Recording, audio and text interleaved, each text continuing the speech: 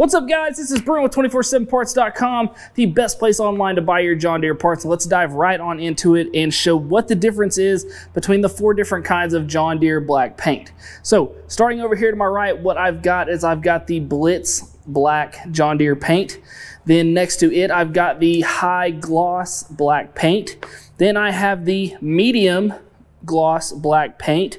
And then lastly, I have the muffler black paint. Now on John Deere equipment, you're going to see different black surfaces all over the place from frames, to mufflers to maybe the rear end of tractors, all different kinds. So there is a need to have this here at the dealership, but I'm gonna go ahead and show each one of these individually so that you can see just exactly what they look like so you know which one to buy to match up with your equipment when you're doing those touch-ups or repaint jobs, whatever you're doing. So we'll start over here with the Blitz Black Paint. Get this good and shook up.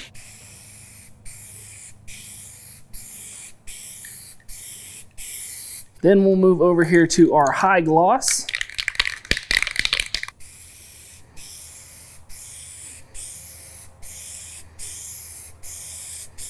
Then to our medium gloss.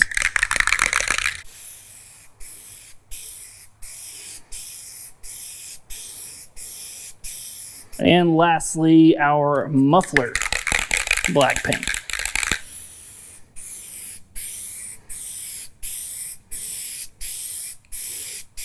Now, while these paints are drying, let's talk just a little bit about black paint. Now, I had done a video over the John Deere green and yellow paints, which I'll leave a link to down in the description below.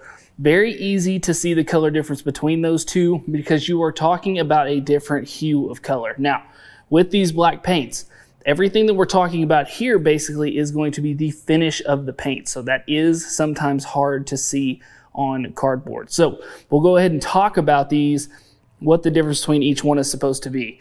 Both of these three are going to be for your agricultural use, commercial use, or residential use on equipment not specific to any type of place. So this is going to get, go good for maybe the black frames on your lawnmowers or the back of your tractor. But what these are going to be is the Blitz Black is going to be for a low gloss finish. Your high gloss obviously is going to be that most shiny type finish more wet looking, and your medium gloss is going to be somewhere in between. Now, when we get over to the muffler black, and as you can see right here in these three, you can see how the muffler black is dried up a lot quickly. There's not any more shine to it. This is meant for metal surfaces that are going to be reaching high temps, hence the name muffler black. Now, if we're looking across the other three here, all three of them are going to look fairly similar whenever we're looking here on cardboard.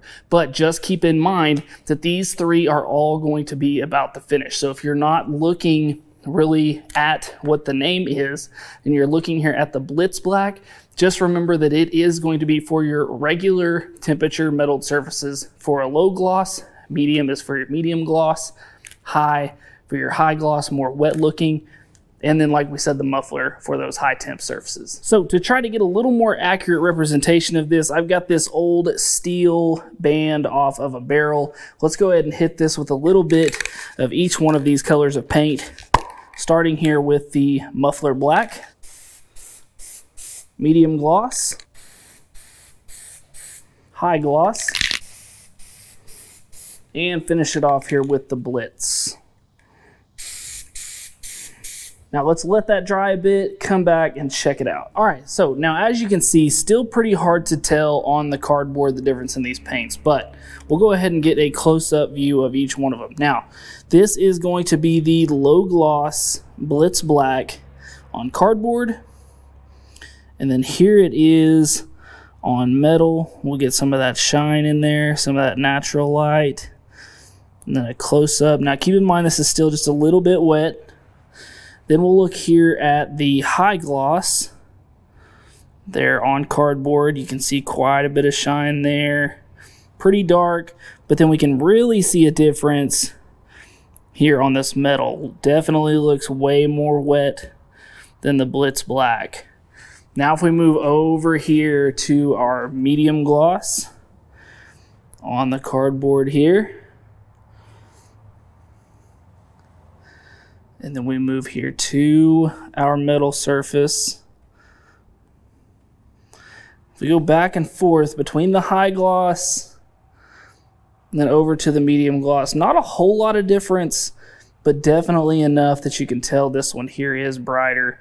And then we move here to our muffler. Now this is going to be about as flat as you can get, not only on the cardboard, but on the metal surface as well. So if we go here from the muffler to the medium gloss, that is a crazy, crazy difference. Now, if you're going in and you are looking for these different paints, and we're looking for the Blitz Black, we're looking for part number TY25631.